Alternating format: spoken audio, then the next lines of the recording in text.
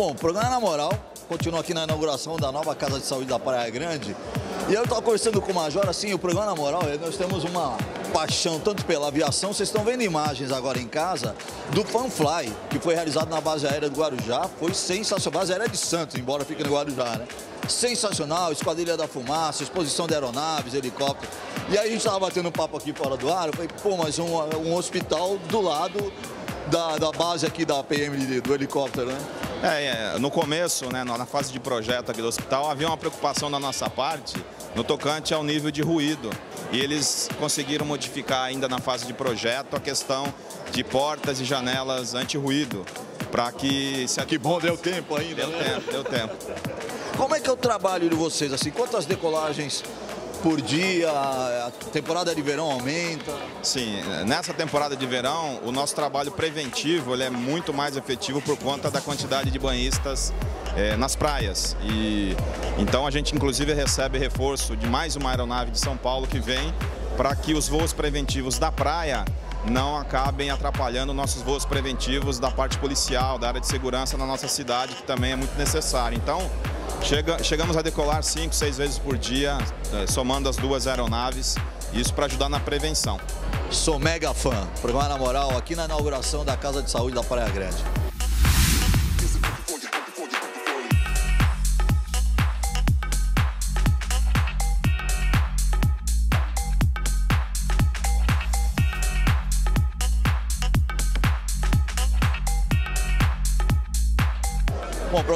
Continua aqui na inauguração do Hospital Casa de Saúde da Praia Grande. Rogério, caiu o queixo aqui, né? Você viu só, Deta? O hospital realmente está lindo, né? Um padrão novo de hotelaria, né? Para Baixada, né? Todo mundo que veio aqui ficou encantado. O hospital, tudo novinho, tudo brilhando. Primeiro mundo. Primeiro mundo. Eu queria que você falasse um pouquinho da Blue Med, até porque é, em números, porque é surpreendente. Foi um ano, você vê, um ano de crise ainda econômica, né? De recuperação de economia. E a gente começou o ano, ano passado, com 35 mil associados, terminamos com 55 mil associados. Que é isso? Então, assim, para esse cenário econômico que a gente vive, né, é surpreendente. Então, a gente está muito animado para 2020, né, e mais animado ainda com um novo hospital fazendo parte da nossa rede credenciada. O que me chamou a atenção nas ações da Blue Med é, cara, é, é o vínculo com o esporte, né? A, a, escola de surf. Fala um pouquinho disso. Como é que surgiu isso? Você pega onda? Não? Peguei. Eu sou um caipira. Não enrola, hein? Não, eu sou um caipira de Barreto, você sabe disso, né? Mas eu sou um caipira que fui convidado a, a fui convidado a, a, sentar numa, montar numa, vamos montar numa, numa prancha, vamos chamar de montar, através do Cisco Aranha, né? Grande brother. Grande brother e a gente realmente apoiou a primeira escola de surf sênior do Brasil com o Cisco. Né? E a gente está muito feliz com essa parceria. Começou através de uma ideia da nossa agência de publicidade e um dos ah, funcionários da agência era aluno do Cisco. Ele falou, pô, cara, eu conheço, conheço o Cisco e tal, vamos fazer a ponte com ele. Surgiu a escola de surf sênior. E agora, na sequência, a gente inaugurou a escola de surf adaptado para deficientes físicos. Que é um sucesso, né, cara? O mundo quer. E é muito. É, é a primeira do Brasil e a gente pesquisou, a gente ainda não achou uma igual no mundo. Né? Então, a, é, a gente está muito empolgado. Eu acho que as empresas elas precisam investir no social, elas precisam participar da comunidade. E a Blumed não só falando do esporte, mas a gente tem trabalhado muito para estar cada vez mais ativo na comunidade da Baixada Santista, né? Eu tenho ficado aqui muito mais tempo. Adotando a área. Estou adotando, em breve serei mais um novo morador. Né? Seja bem-vindo. Adoro aqui, estou me sentindo em casa aqui na Baixada, né? E, e assim, a gente foi muito bem acolhido aqui. A gente tem hoje a melhor rede credenciada da Baixada Santista, né? Com um hospital HDD nos atendendo no Guarujá, Casa de Saúde de Santos em Santos e agora Casa de Saúde na Praia Grande. Então a gente tem uma rede hospitalar descentralizada para atender toda a Baixada Santista. Então assim, na Praia Grande a gente está fazendo ações, participo das corridas, da Fortaleza Itaipu, então a gente está sempre... E você tem me ajudado muito, né? Também dá o caminho das pedras, porque, né... Onde gente. É, estamos juntos aí para continuar avançando com a Blumed. Qual o próximo passo da Blumed, que você acha? Olha, a gente, a gente quer continuar nesse ritmo acelerado de crescimento, né? Então, a gente construiu uma marca sólida, uma marca que entrega um bom produto, o produto tem uma percepção do nosso cliente muito boa, é um produto que tem um preço muito justo e entrega uma rede muito boa. Então a gente com isso vem crescendo. Eu gostaria muito, efetivamente, que a economia retomasse o crescimento mais rápido. Que é o caminho, né? Que é o caminho. E que a gente voltasse a trazer, de, trouxesse de volta aquelas pessoas que perderam emprego, voltassem a ter plano de saúde. Né? A gente já chegou a ter 57 milhões de pessoas com plano de saúde no Brasil. Hoje a gente está em torno de 44, 45 milhões. Caiu Perdeu muito. muita vida. É uma tristeza. Então você vê, com isso, o SUS fica sobrecarregado. Então quanto mais a, a medicina privada voltar a crescer, o que, que a gente tem? A gente tem o SUS sendo desafogado e deixando para quem realmente precisa e que não pode pagar. Então, assim, essa é, é meu sonho para 2020, 2021, que é crescer, crescer trazendo clientes novos para o sistema, né? E que tem espaço para todo mundo na Baixada. Né? Temos competidores aqui de respeito, que a gente respeita. Temos Sem desmerecer ninguém. de, sem desmerecer ninguém, né? Respeitamos demais o trabalho dos nossos concorrentes, fazem um belo trabalho.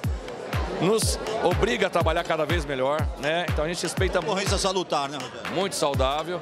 Mas é isso que eu desejo para todos nós que estão no mercado de saúde privada é que o Brasil volte a crescer.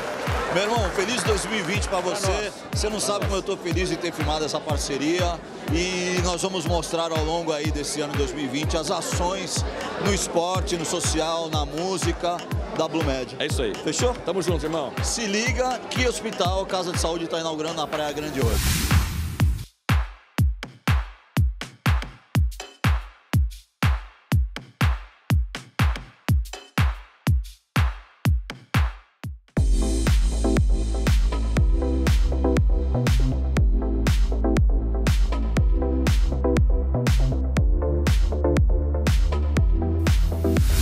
Bom, o programa Na Moral continua na inauguração da Casa de Saúde da Praia Grande. Que surpresa, né?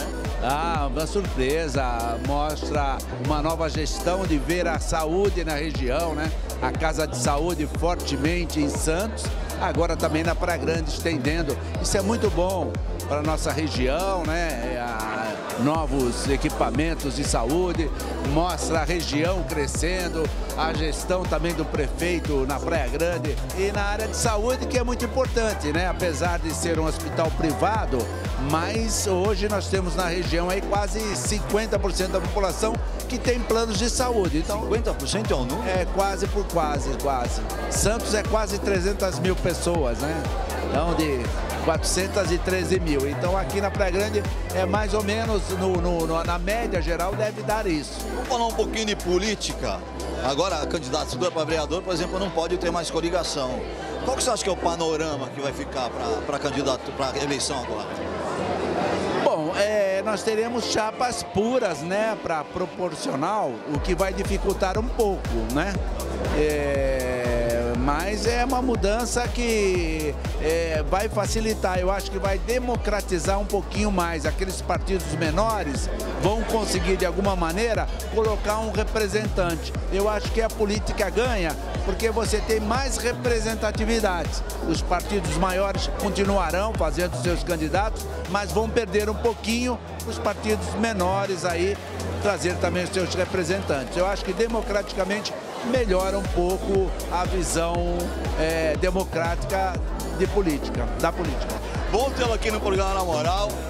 Bom evento, parabéns à cidade da Praia Grande com mais esse hospital da Casa de Saúde, né? Ah, não tem dúvida. Parabéns ao prefeito Mourão, Grande parabéns aos gestores da Casa de Saúde. E a região crescendo, a gente fica feliz. Vamos que vamos. Vamos que vamos. Bora pra festa.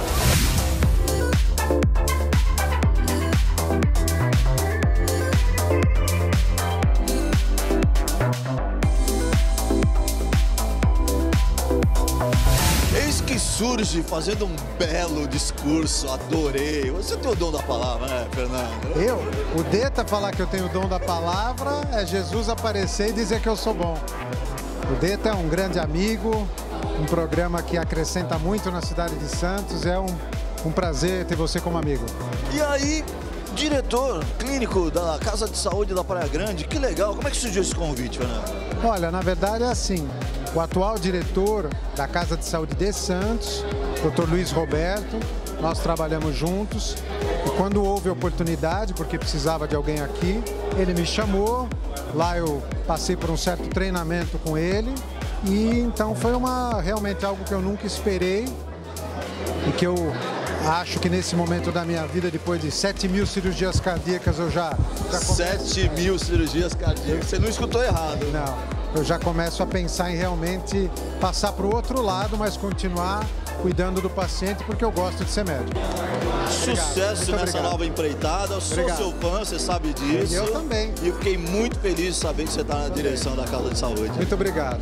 Assista o programa dele. É, é muito mais útil do que 90% que tem na TV brasileira. Olha que peça, que hospital a Casa de Saúde trouxe para Praia Grande. Parabéns, Praia Grande, parabéns à Casa de Saúde. Fernando, parabéns de novo. Obrigado.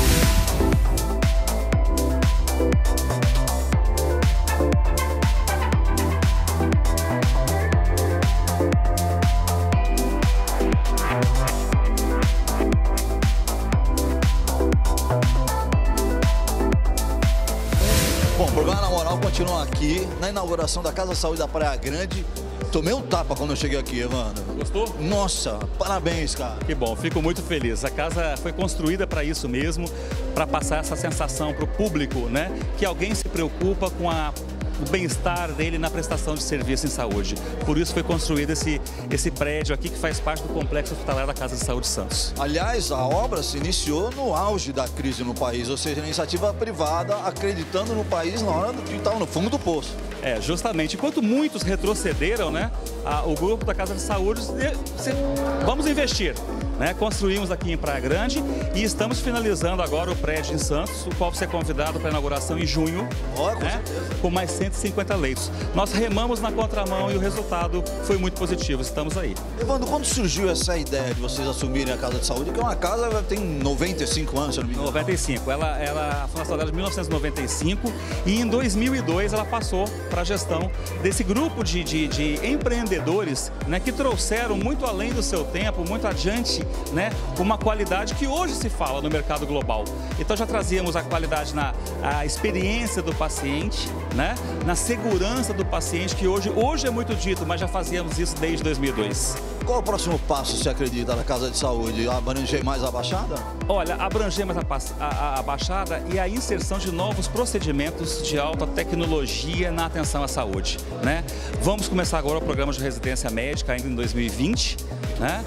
Ah, somos o primeiro hospital da Baixada Santista a ter o transplante de medula óssea. Ah, e a tendência agora sim, nós queremos expandir o hospital para atender uma população maior ainda da nossa, da nossa região, né? E automaticamente não basta ter um prédiozinho bonito, nós queremos ter qualidade, segurança e oferecer uma boa experiência para o nosso paciente. Estou até conversando com o Fernando, que é meu amigo particular, fiquei muito feliz com a notícia dele ser o diretor aqui, da humanização da medicina, né? As pessoas sendo recebidas com um sorriso é fundamental. Né? A situação, muitas vezes, ninguém gosta de estar no hospital. Né? Ninguém quer estar no hospital. Então, quer dizer, essa pessoa ela necessita de um cuidado a mais. Não só aquele cuidado na preservação, atenção à sua saúde, né? mas de relacionamento. Isso é muito importante que nós trabalhemos sempre a nossa equipe para oferecer esse carinho ao nosso público. Gerando quantos empregos aqui? Em Praia Grande são diretos 600 empregos e mais, e mais 1.500 indiretos. Né? Em Santos hoje eu tenho 3.500 empregos diretos e indiretos. Ou seja, quase 5, 6 mil famílias, né? Justamente, famílias. E nós gostamos do, do, da, da, nossa equipe, nós trabalhamos em prol da nossa equipe, sem essa equipe nós não seríamos um hospital. Ah, nós, nós fazemos programas de retenção de talento e de educação continuada, para que essas pessoas realmente continuem conosco e a cada vez mais estejam qualificadas a, a prestar o serviço de saúde. Adorei a retenção de talentos. Gostou, né? Adorei. É bonito, é bonito. Olha, boa sorte. Cara, Muito obrigado. Obrigado. Estaremos lá em aqui. junho. Conto com você. Para mostrar a Casa de Saúde, a nova fase também da Casa de Saúde Santos. Perfeito. Você é nosso convidado de honra. Parabéns, Casa Muito obrigado. de Saúde, parabéns para a Grande. Se liga na festa e que hospital.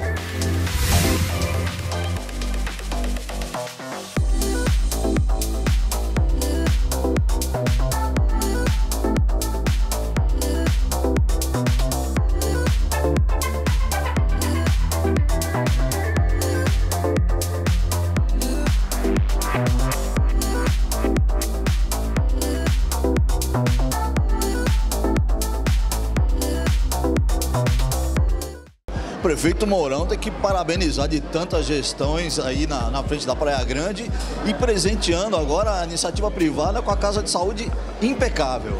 Sim, para nós é, é um orgulho estar. Tá complementando as ações que nós imaginávamos lá atrás. Gradativamente, a instalação de grandes atividades na área do comércio, como os grandes shopping, grandes abastecimentos regionais, sediais complexos na área uh, da, de logística, de redistribuição regional.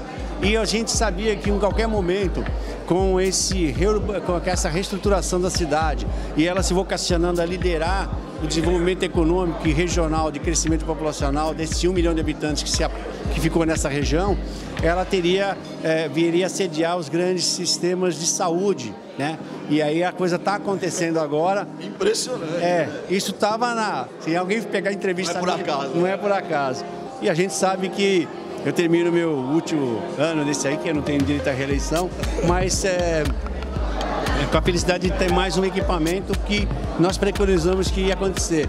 E a Casa de Saúde para nós vem com essa preocupação não só de ser mais um equipamento com 100 leitos, de atendimento regional, mas com a preocupação da qualidade, da humanização, como disse o diretor clínico, da preocupação em fazer a complementação das ações de saúde dentro dessa, dessa cidade. Então, para nós é, é, é, importante. Ele vai reduzir as pressões em cima do pronto-socorro, porque vai desafogando, desafogando é, das internações hospitalares, que quem tem plano de saúde pode vir para cá, melhorando o atendimento das pessoas que precisam mais. Eu prestei muita atenção no seu discurso. É impressionante os números da Praia Grande daqui a 6, 7 anos tá, é a cidade mais populosa da Baixada. Sim, é, nós somos a terceira, né?